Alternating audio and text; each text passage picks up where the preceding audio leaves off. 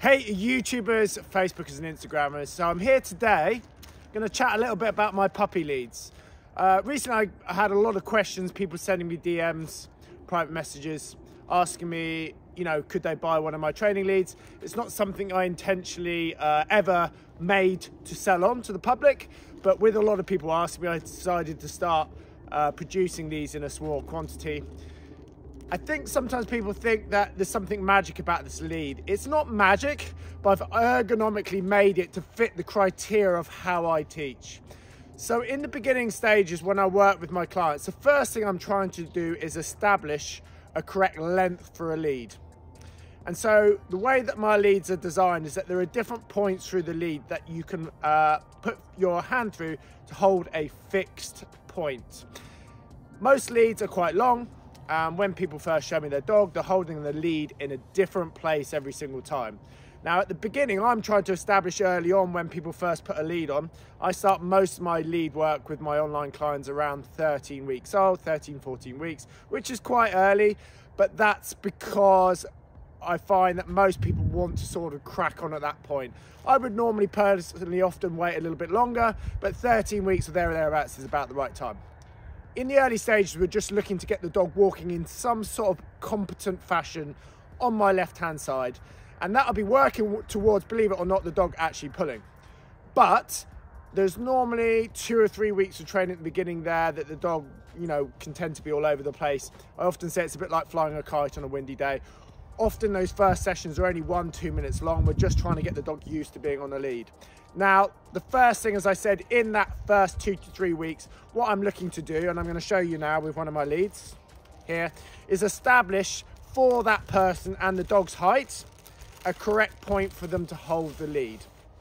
So what you'll notice here is it's like a traditional slip lead.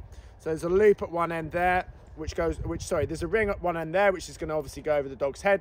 And there's a correct way for that to go on, by the way. And I'm gonna show you now. So if you look here, the lead should always come in from the left-hand side, okay? From this side here, as I look at the lead, okay? Basically, when the dog is on your left-hand side, the lead will be able to tighten and loosen, tighten and loosen. The other way around, and the lead would only tighten and not loosen. That only works when you walk the dog on the same side each time and that you put the lead on the same way. So as I look at the dog, I put the lead over my right hand and it should be able to tighten and loosen. So the lead is coming in from the left side. I then put my hand over the dog's muzzle, pull the lead over the top, and now the lead will be on the correct side. Now what you'll notice here is there's a collection of loops up through here. Now I, when I sell these, I don't make the knots too tight to start with so that people can move them. But to give you an example, I might be looking to put two fingers on my first hand through that loop. Now when I'm, my clients are sending me their footage, in that first couple of weeks, I'm trying to establish which of those loops is the correct one for them to hold. Once we've established which is the correct one, and that would be based off if the dog was at a perfect heel position and my arm is relaxed by my side, there should be a reasonable amount of slack in the lead. Okay, so if you can imagine that was on the dog's neck, I would be looking for some slack a bit like that. If the line is tight, um, then that would be incorrect. Now, the likelihood is the line will be tight at the beginning because the dog will likely be ahead or behind okay? But we'll be just looking to find that moment when the dog is momentarily by our side in the perfect position, our arm is relaxed by our side, and we now know that that is the correct loop or that one or whatever. And that's what we do at the beginning. We figure out which is the correct loop. So once we know which it's the, uh, the correct loop that they're holding, they always hold the same place. And now that's a fixed variable I don't have to worry about. I know that they are holding the lead in the right position every single time. There's also no excess lead. A lot of the time people come out and they're holding the lead like this in both hands. Uh-uh. Just your left hand is going to do the work. Your right hand is free for other stuff, encouraging along. Um, later on would be holding a gun, all sorts of different things. Okay, so as I said, there's nothing magical about the lead in the sense that it's going to make your dog walk perfectly. It's not. But the first stage is establishing the correct length to walk the dog on. And most leads are just super long and they're just straight through. So I find that clients are holding the lead in a different place every single time. And when I'm watching that back on film, it's very difficult for me to tell proportionally where the dog is. But once they know they're holding the correct loop, then they can crack on and we don't have to worry about that element. And we then work through the next phases to come.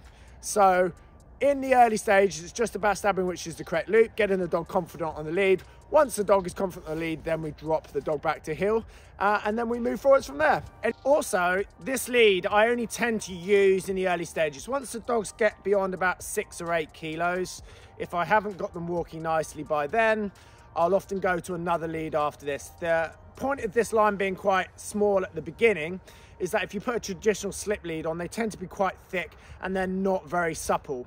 So normally once I get to an adult age, I will then go on to a more adult type of lead that I tend to make as well. Oh, you'll see in most of my videos, um, I'm always using these super thin leads at the beginning, but they're when the puppies are quite small, I find ergonomically again, they work at their sort of optimum position then. So just to let you know later on, beyond once they go beyond a certain weight, generally, if you haven't got on top of the dog, I will use with these with older dogs. You'll see me a lot of the time doing retrieve work with them on uh, a similar design to this, but they are different. And that's so that it, I'm always in control of the dog. I have a bit of a saying, which is left hand lead or right hand retrieve. So when my dog comes back with a retrieve, I'll put my left hand to the lead, which stabilizes the dog. And then I take with my right hand, I can step forward and the dog is immediately back at heel. Rather than the dog doing two laps of you after you've taken the retrieval of it before you get control of it again. Anyway, I hope that's been a good explanation of how my leads work. As I said, there's nothing magical as far as making the dog walk to heel, but it's about ergonomics and getting the dog, uh, sorry, getting your hand in the correct position every time moving forwards to make that lead training come along later on. If you're looking for some help with online um, support and training, which is what makes up most of my work these days, then just uh, drop me a, a message on my Facebook page, Hampshire Spaniel Training. We also have another page, Spaniel Training Kit. You can find us on Instagram and Facebook, and that's where I am selling these products if you want them, along with a host of other things like dummies and bowls and dog jackets as well. So don't forget to give me a like and a follow, it would be much appreciated, and we'll catch you later, guys. Cheers.